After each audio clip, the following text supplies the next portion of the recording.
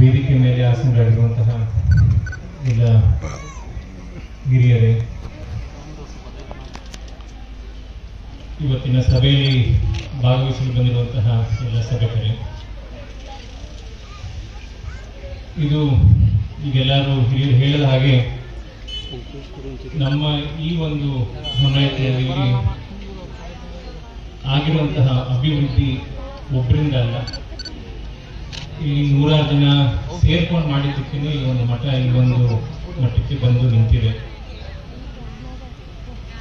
ನೀವು ಯಾರೇ ಯಾರೇ ಕಾಲಘಟ್ಟದಲ್ಲಿ ನೋಡಿದ್ರು ಒಬ್ಬರಿಂದ ಏನು ಸಾಧ್ಯವಾಗಲ್ಲ. ಅದು ಹತ್ತಾರು ಜನ ಸೇರಿದಾಗಲೇ ಆ ಒಂದು ಕಾರ್ಯಕ್ರಮಕ್ಕೆ ಒಂದು ಶೋಭೆ ಬರುತ್ತೆ. ಸುಗಮವಾಗಿ ನಡ್ಕೊಂಡು ಹೋಗುತ್ತೆ. ಹಾಗೂ ಅಂದ್ಕೊಂಡಿದ್ದಂತಹ ಪ್ರತಿಯೊಂದು ಕಾರ್ಯಗಳನ್ನ ನಾವು ಸಂಪೂರ್ಣವಾಗಿ ಪೂರ್ಣಗೊಳಿಸ್ತೇವೆ ಅದೇ ನಿಟ್ಟಿನಲ್ಲಿ ಬನ್, ಬನ್ಹಳ್ಳಿ ಗ್ರಾಮದ ವಿಶ್ವಕರ್ಮ ಸಮುದಾಯದ ಜಾತ್ರಾ ಸಮಿತಿಯ ಎಲ್ಲ ಸದಸ್ಯರು ಸೇರಿ ಅದಕ್ಕೆ ಹಲವಾರು ನಮ್ಮ ಪರಂಪರೆಗೆ ಸೇರಿದಂಥ ಹಲವಾರು ಭಕ್ತಾದಿಗಳು, ಎಲ್ಲರೂ ಬೇರೆ ಬೇರೆ ರೀತಿಯಲ್ಲಿ ಅವ್ರ ಕೈಲಾದಷ್ಟು ಸಹಾಯನ ಮಾಡಿ ನಮಗೆ ನಮ್ಮ ಈ ಒಂದು ಗ್ರಾಮದಲ್ಲಿ ಒಂದು ಭವ್ಯವಾದಂತಹ ಕಟ್ಟಡನ ಅವರು ನಿರ್ಮಾಣ ಮಾಡಿಕೊಟ್ಟಿದ್ದಾರೆ. ಅದು ಬಹಳ ಸಂತೋಷ ಆಗ್ತಾ ಇದೆ ಇವತ್ತು. ನಮ್ಮ ಮಠದ ಪರವಾಗಿ ಹೊನ್ನಾಕ್ನಳ್ಳಿಯ ಗ್ರಾಮಸ್ಥರ ಪರವಾಗಿ, ಹಾಗೂ ನಮ್ಮ ಪರಂಪರೆಯ ಎಲ್ಲ ಭಕ್ತಾದಿಗಳ ಪರವಾಗಿ ಈ ಸಮಿತಿಗೆ ನಾನು ನನ್ನ ಅಭಿನಂದನೆಗಳನ್ನ ತಿಳಿಸಲಿಕ್ಕೆ ಇಷ್ಟಪಡ್ತೀನಿ.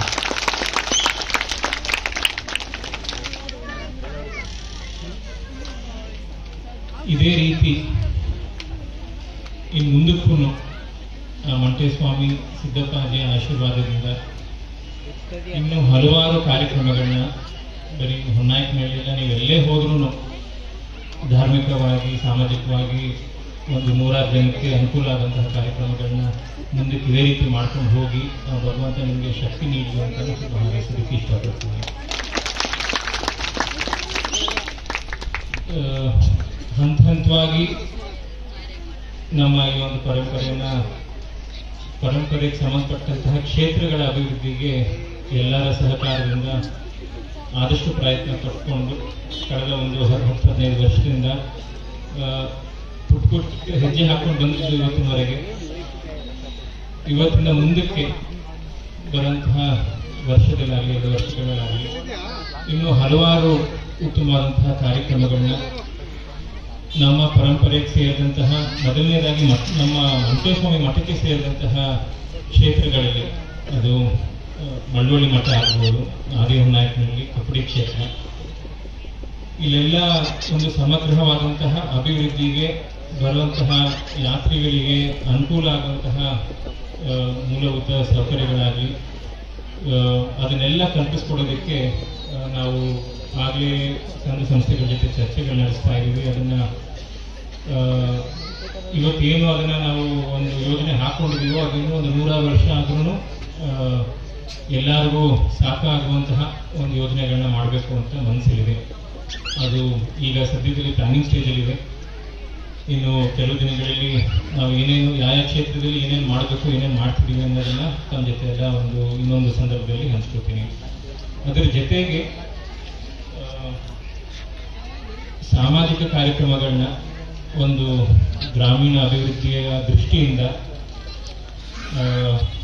ಅದನ್ನು ಮುಂದಕ್ಕೆ ತರಬೇಕು ಅಂತ ಹೇಳಿ ಮುಖ್ಯವಾಗಿ ಶಿಕ್ಷಣ ಅದರ ಜೊತೆಗೆ ಆರೋಗ್ಯ ಆ, ಕ್ಷೇತ್ರಕ್ಕೂ ಸಂಬಂಧಪಟ್ಟಂತಹ ಕಾರ್ಯಕ್ರಮಗಳನ್ನ ನಾವು ಒಂದು ಚಾರಿಟಬಲ್ ಟ್ರಸ್ಟ್ ಮುಖಾಂತರ ತಂದು ನಮ್ಮ ಪರಂಪರೆಗೆ ಮಾತ್ರ ಅಲ್ಲ ಪ್ರತಿಯೊಬ್ಬರಿಗೂ ಅನುಕೂಲ ಆಗುವಂತಹ ಸಾಮಾಜಿಕ ಕಾರ್ಯಕ್ರಮಗಳನ್ನ ನಾವು ಅದನ್ನು ಮುಂದಿನ ದಿನಗಳಲ್ಲಿ ಸಭೆಯಲ್ಲಿ ಅನೌನ್ಸ್ ಮಾಡಿ ಏನೇನು ಕಾರ್ಯಕ್ರಮಗಳನ್ನ ಕೈಗೊಳ್ತಾ ಇದ್ದೀವಿ ಅಂತ ನಾವು ಹಂಚ್ಕೊತೀವಿ ನಿಮ್ಮ ಇಲ್ಲಿ ಇವತ್ತು ನೋಡಿದಾಗ ಒಂದೆರಡು ಇಲ್ಲೆಲ್ಲ ಗ್ರಾಮದ ಹಿರಿಯರೆಲ್ಲ ಇದ್ದಾರೆ. ಒಂದು ನಮ್ಮ ಜಾತ್ರೆ ಸಮಯದಲ್ಲಿ ನಡೆದ ಈಗ ನಮ್ಮ ಮುಂದಿನ ತಿಂಗಳಲ್ಲಿ ಆಷಾಢ ಮಾಸ ಜಾತ್ರೆ ನಡೆಯುತ್ತೆ. ತಿರ್ಗಾ ದೀಪಾವಳಿ ಸೇವೆ ಕಾರ್ತಿಕ ಮಾಸ.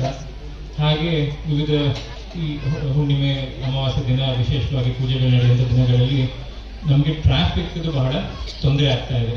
ನಮ್, ನೀವೆಲ್ಲ ನೋಡಿದ ಹಾಗೆ ಸುತ್ತಮುತ್ತ ಗ್ರಾಮದಿಂದ ಓಡಾಡೋರಿಗೆ ಇದೇ ಒಂದು ರೋಡ್ ಇರೋದು.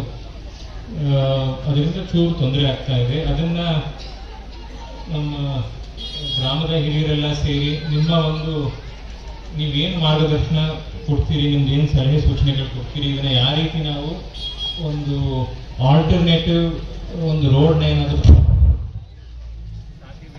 ಮೈಕ್ ಮೈಕೋ.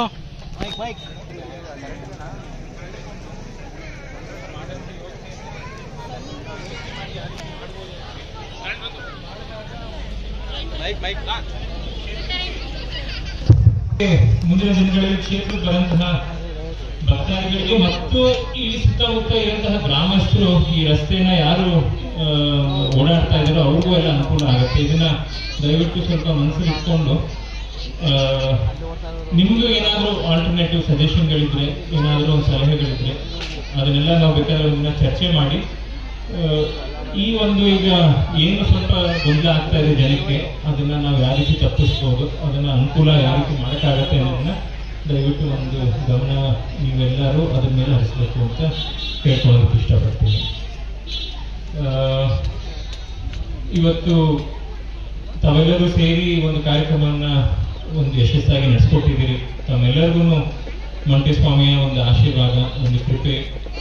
ಸದಾಕಾಲ ಇರಲಿ, ಸುಖ, ಶಾಂತಿ, ನೆಮ್ಮದಿ ಕೊಟ್ಟು ಕಾಪಾಡಲಿ ಅಂತ ಶುಭ ಹಾರೈಸಿ ನನ್ನ ಈ ಒಂದೆರಡು ಮಾತಿನ ಹೇಳಿ ನಮಸ್ಕಾರ.